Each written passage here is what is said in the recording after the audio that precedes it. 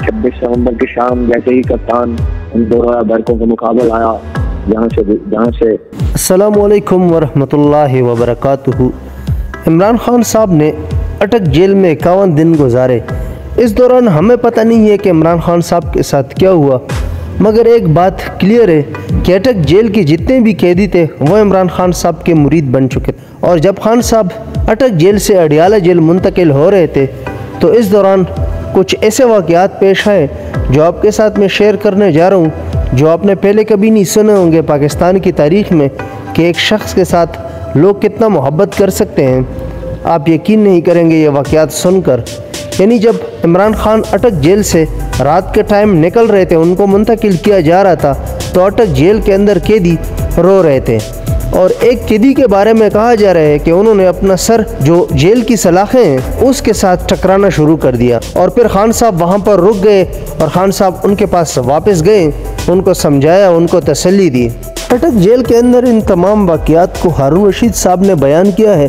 आपको उनकी ज़बानी सुनवाते आपसे रिक्वेस्ट है कि इस वीडियो को मैक्सिमम लाइक करें, शेयर करें, चैनल को सब्सक्राइब करना मत भूलें। इन दोबारा किसी और अपडेट के साथ आपकी खिदमत में हाजिर होंगे। हनुशीद साहब की गुफ्तु मुलायजा कीजिए। छब्बीस नवंबर की शाम जैसे ही कप्तान बरकों का मुकाबला आया, जहाँ से जहाँ से इधर कर ज़िंदा से निकल उसे निकल जाना था। अचानक इमरान खान जिंदाबाद के फलक शगाफ नारे बुलंद हुए। इतने बुलंद के दूर दूर तक आवाज़ सुनी गई। वो आवाज़ जिसमें खन गरज उदास और एहतजाज खुद मिल गए थे। ऐसे खारा शगाफ नारे से अफसरान ग्रामी पे दहशत तारी हो गई। उनमें से एक का कहना है, ऐसा लगा कि सुराखें तोड़कर वो बाहर निकल आएँगे। ऐसा लगा कि आसमान ज़मीन से आ लगेगा और ज़मीन फलक दोस्त सहमे और उलझे हुए खामोश रहने की तलकीन करते रहे। अगर नदी के खरोश में डरी हुई खुशवाक्ता की आवाज़ कौन सुन सकता है? वो जिसका ताकुब कर रहा हो। अक्सर एहलकारों से बात करने की कोशिश करते तो सुना ही न देती, जैसे बादलों और बिजली की कन गरज कार फरमा हो। आखिर बैरक में एक हैरान कन वाक़ हुआ। जब जवान साल कैदी पे ऐसी कैफियत तारी हुई कि सलाखों से सर टकराने लगा। हरब गए।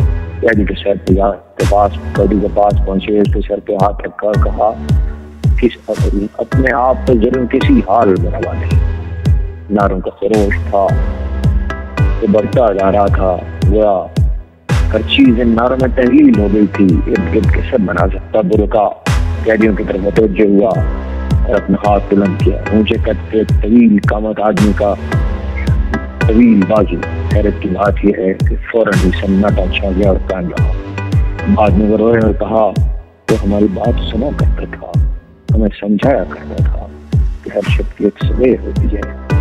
कुछ देर बिंदनाहट सुनाई देती रही, फिर खामोशी छा गई। बोलती हुई खामोशी, अब तक ये खामोशी भी शक्ति तारीखी में पहली है। हुक्मरानों को कौन समझाए हुक्मरानी एक जली अतमाद अदा करती है और कभी तो इतना कि दानिश उसमें गुम, दानिश की हर आवाज़ उसमें गुम हो जाती है। हर बात सुनने से वो इनकार कर देते हैं। काश कोई जाए और जाकर उन्हें समझाए कि शिकस्त लीडर को दी जा सकती है, हीरो को नहीं।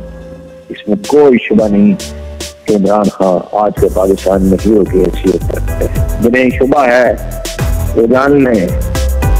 और नहीं जानेंगे तो जल्द जान लेंगे। तो मगरब में दाग की लो दाग चुकी है। हमारी तो कोई नहीं पाकिस्तानी आवाम की तो कोई नहीं सुनता। दानिश की आवाज़ तो हुक्मरानों में से कोई नहीं सुनता। मगर, लेकिन मगरब की आवाज़ वो सुनते हैं, जल्द वो सुन लेंगे और जल्द वो जान लेंगे कि इमरान खान के बगैर पाकिस्तानी सियासत अधूरी है और अधूरी सियासत कोई सियासत नहीं।